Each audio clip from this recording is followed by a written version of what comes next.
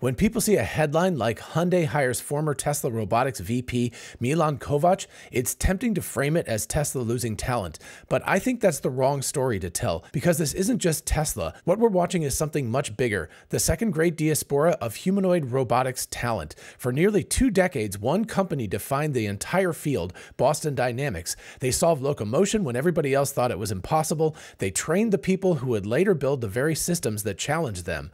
Then the center of gravity shifted shifted, deep pocketed players like Tesla and Google DeepMind industrialized those ideas. They scaled perception, autonomy, developed new neural net based architectures, and are working on real world deployment. And now that talent is dispersing again outward, seeding an entire ecosystem of humanoid robotics companies that don't need the backing of giant, deep pocketed companies.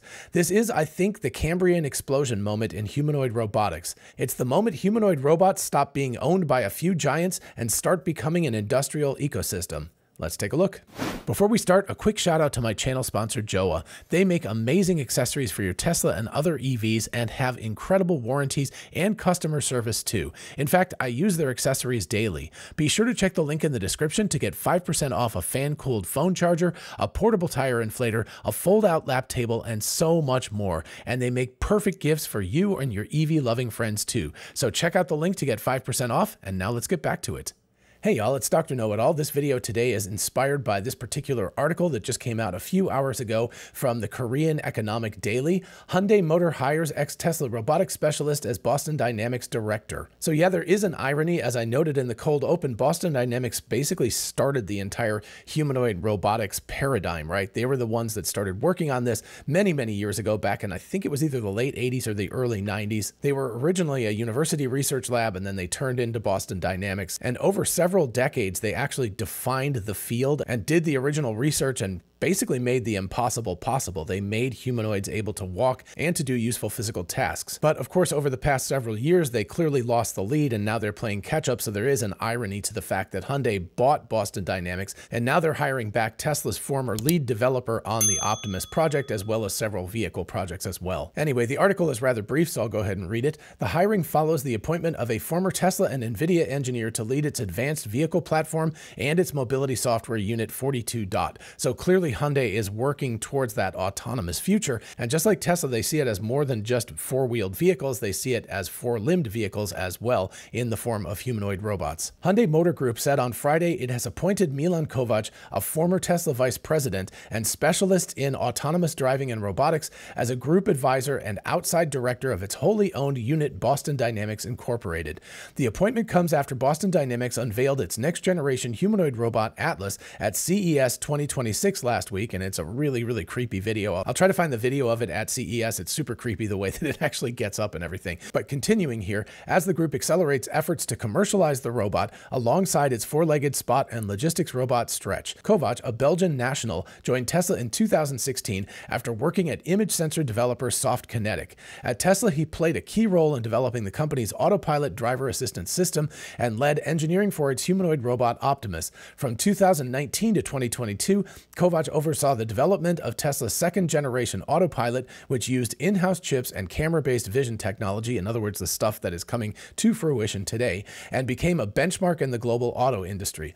He was promoted to vice president in 2024 after leading factory pilot operations for Optimus. Hyundai Motor Group made several high profile hires this month. On Tuesday, it appointed Park Min Woo, a former Tesla and NVIDIA engineer, to lead its advanced vehicle platform division and its mobility software unit 42 Dot.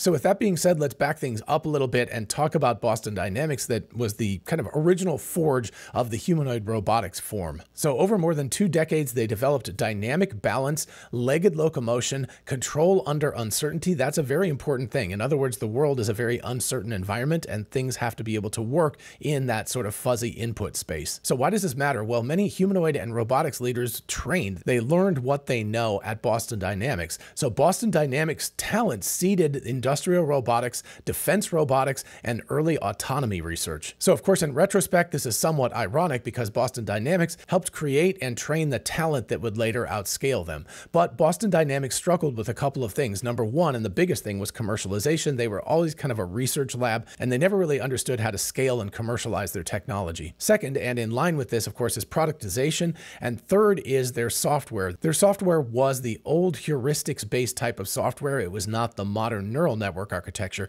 Now, for a long time, that was the correct path because that was the only path. Neural networks were not smart enough to be able to deal with this. But of course, in the past five years or so, things have completely changed around. And now neural networks have taken the lead in terms of humanoid autonomy. So this led to about a decade ago, 2015, 2016, depending on how you want to count when it started, to deep pocketed industrial companies beginning to support the robotics push. Obviously, Tesla took the lead with this, in particular with four wheeled robots as opposed to four limbed robots. They focused on vision only perception, which is a huge leap forward. They worked on cost constraints, in other words, making it real world compatible, and they worked on factory deployment at scale. And of course, very importantly, they commercialized robotics via their full self driving software and hardware stack. In other words, they sold the software and hardware to customers who then utilized it and helped Tesla to train the next generation. And now, of course, they're working on a four limbed robot, Optimus, and it's very important to understand that from the get go, Elon and Milan and the team have been focused on making this an industrializable humanoid robot. In other words, not a research project, but something that would eventually be able to scale to millions and then billions of these robots being built. And then the other really big player over the past decade or so is Google DeepMind. And of course, that's with the support of Google, one of the largest companies in the world. They've worked on world models, they've worked on reinforcement learning, they've worked on multimodal reasoning, and they've worked on reason to action models. In other words, understanding the world and then acting on that understanding. And of course, this has all been neural network architecture based. Google DeepMind has been less hardware centric, although they have built some robots, but they've been critical for doing research on cognition and planning. So while Boston Dynamics for the past 10 years or so, or at least up until the last couple of years,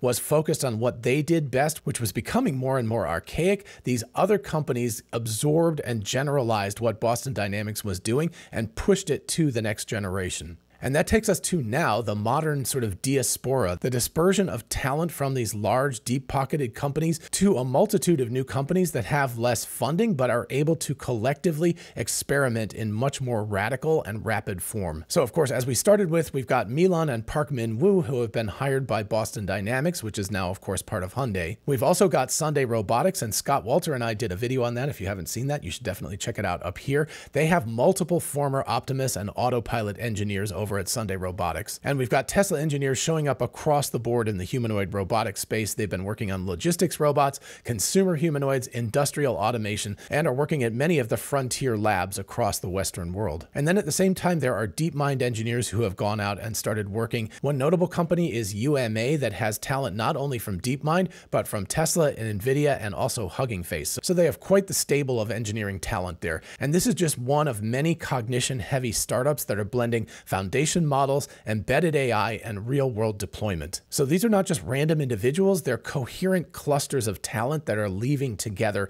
and going to other places. And it mimics what we've seen recently in the generative AI industry in the past couple of years. The talent pool is very small, and the competition for the few with those skills and experience is fierce. That only happens as a field matures and investors can see the kind of quote light at the end of the tunnel of these robots becoming economically viable and then profitable. And of course, in an ironic twist, Boston Dynamics is now the recipient of the seeding. So they were the first ones to seed the talent out to the rest of the world. And now the rest of the world has trained these people further and they are coming back to Boston Dynamics, which is now part of Hyundai. Which is why Boston Dynamics hiring Tesla trained leadership makes reasonable sense as Boston Dynamics shifts focus from viral demos and small scale lab production to commercialization and from pure mechanics to autonomy at scale. So Boston Dynamics is fighting not to be replaced, but to be reintegrated into the very ecosystem it helped to create. And of course, at the same time, Hyundai is clearly making a major play in the robotic space. They want to become a leader in that space, which is a pretty wise idea, to be honest. And before we close out this video, I think it's important to talk about China because they've been on a parallel track. I've been talking about the Cambrian explosion in the Western world, but there is a parallel thing happening in China as well. But it's a little bit different. Again, it's hard to get real insight into the Chinese industrial area, at least from the United States where I am. But as far as I can see, Chinese humanoid robots robots aren't being driven by talent dispersal, but they're being driven by state backed scale and manufacturing integration. There are a lot of humanoid robotics companies in China. Some of the big ones are Unitree Robotics, UB Tech, Fourier Intelligence, and of course Xiaomi, which is actually making quite the play in that area. These companies move fast, they iterate their hardware very aggressively, and they leverage the massive native supply chains they have in China. And as the demos show, these Chinese humanoid robots are extraordinarily impressive mechanically. They're developed very, very quickly. They have clean actuation and they have tight packaging. But the generalized reasoning, the sort of brain of it all, and long horizon planning are still the hard part for them. We haven't seen a lot of demonstrations of that. And those problems, of course, don't scale simply by throwing factories at them. So while China has a serious advantage in hardware velocity and manufacturing, the Western sort of diaspora, as I'm calling it, has an advantage in software, autonomy, and systems integration. So while this video is about talent flow and how ideas and people move between institutions, China's humanoid push is largely centralized and vertically directed. It's a different phenomenon with different implications, and it really deserves another video. And if you want to see that, let me know in the comments, and please consider subscribing to this channel and click the bell notification icon so that you get notified when that next video comes out. So while China is building humanoids through centralized scale,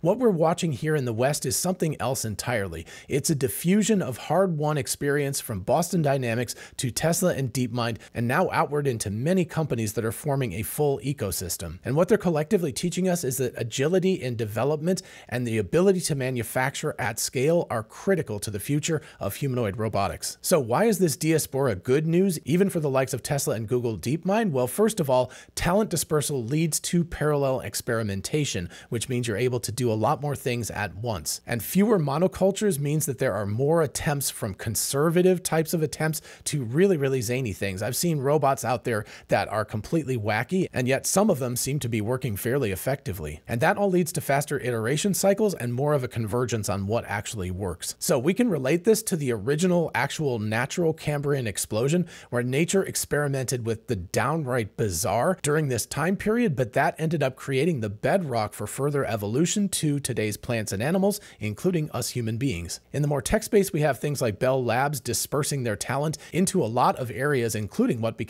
Silicon Valley. We have the diaspora from Fairchild Semiconductor to Intel to the semiconductor ecosystem explosion in the 1960s and 70s. And of course, related to Elon Musk, we have PayPal seeding out the talent and ideas into the fintech ecosystem. And so what we're seeing now is humanoid robotics after a very, very long, slow beginning of that ramp, making that same transition from very, very early experimentation and lab type demonstrations to full scale usability and industrialization. And a lot of that is the result of this talent that's been dispersed from these companies out into the world. So the first phase, which Boston Dynamics led, proved that robots could actually move around and keep their balance.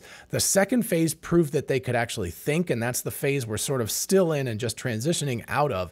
And the next phase will prove that they can work. Intelligence, evolved mechanics, and the ability to build at scale are what's going on right now. And what we're seeing is funding requirements reducing from billions of dollars to hundreds of millions and now even tens of millions of dollars. The talent can start flowing outward instead of inward, and that's when mass experimentation can really happen and when a technology can go from the lab to the world at large and change the very future of the world. Alrighty, folks, that's what I've got for you today. Let me know in the comments what you think about all of this. Am I correct that this is overall a very good thing, or do you think that this is actually a bad thing? What do you think about China? Let me know all of that stuff. While you're down there, if you don't mind liking the video, it really helps other people to find it. And if you really want to help the channel out and give me an early birthday present, my birthday's coming up in just a couple of weeks, please consider subscribing and hitting that bell notification icon, and I will see you in the next video. Bye-bye.